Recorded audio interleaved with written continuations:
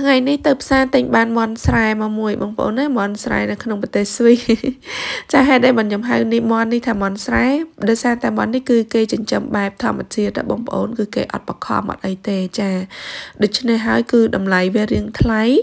ហើយចំពោះរសជាតិវិញគឺឆ្ងាញ់មែនតើមន់មួយហ្នឹង20រៀលជាងណា ចាអញ្ចឹងចំពោះដំបូងហ្នឹងគឺខ្ញុំយកវាមកស្ងោរចាយើងដាំទឹកឲ្យក្តៅទៅខ្ទឹមសខ្ទឹមប្រាំងហ្នឹងអំបិលបន្តិច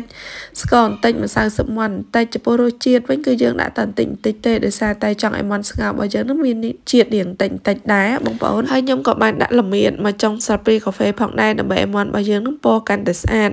សម្រាប់បងប្អូនខ្លះគឺគាត់ចាញ់ក្លិនល្មៀតគឺគាត់មិនបាច់ដាក់ក៏បានដែរប៉ុន្តែខ្ញុំខ្ញុំអត់អីទេបងប្អូនខ្ញុំចូលចិត្តណាចាក្លិនរៀងឈ្ងុយល្មៀតតិចតិចហើយសាច់មាន់របស់យើងហ្នឹងគឺឈ្ងុយល្មៀតតិចតិចដែរទៅគឺខ្ញុំចូលចិត្តខ្លាំងមែនតើ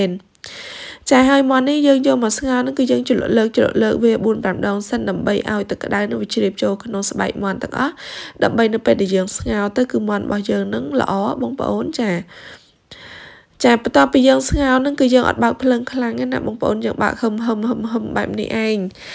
អឺបាក់ភ្លើងតិចតិចអញ្ចឹងរហូតតតែមាន់របស់យើងនឹងឆ្អិនល្អចាហើយខ្ញុំស្ងោរមាន់នេះកន្លះម៉ោងដោយសារមាន់នឹងរៀងធំដែរតែបើថាមាន់បងប្អូនរៀងទូចជាងនឹងអាចបន្ថយរយៈពេលនាទីក៏បានដែរជាមួយខ្ញុំកន្លះម៉ោងប៉ុណ្ណឹងទៅគឺល្មមហើយហើយនៅពេលដែលខ្ញុំស្ងោរមាន់គ្រប់នាទីហើយហ្នឹងគឺខ្ញុំអត់តន់ស្រង់មាន់ចាញ់ទេណាខ្ញុំបិទភ្លើងមែនប៉ុន្តែខ្ញុំដាក់មាន់យើងហ្នឹងត្រាំនៅក្នុងទឹកក្តៅហ្នឹងរហូតតទៅត្រជាក់សិនបើខ្ញុំស្រង់មាន់ចាញ់ណា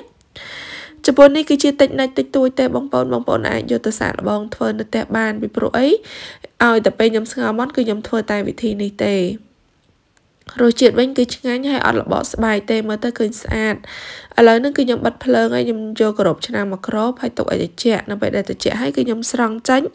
ចាគឺយើងកាប់ញ៉ាំទៅហើយញ៉ាំជាមួយនឹងទឹកត្រីបុកក៏បានញ៉ាំមួយនឹងទឹកស្អីទឹកស្អ៊ីវក៏បានដែរបងប្អូនគឺឆ្ងាញ់ណាចាចំពោះវីដេអូតិចនិចស្ងោរមាន់នេះគឺមានតែប៉ុណ្្នេះទេចានឹងខ្ញុំសង្ឃឹមថាបងប្អូននឹងពេញចិត្តផងដែរចំពោះសំណួរបងប្អូនអាច comment នៅខាងក្រោមវីដេអូបាន ចានេះខ្ញុំហើយបងប្អូនកុំភ្លេចជួយ share វីដេអូនេះបានច្រើនផងសម្រាប់ការលើកទឹកចិត្តចាចាំជួបនេះខ្ញុំនៅវីដេអូក្រោយៗអរគុណដែលបានតាមដានទស្សនាជម្រាបលា